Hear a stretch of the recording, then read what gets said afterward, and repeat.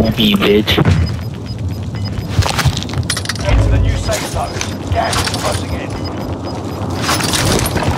You're losing ground. Move it.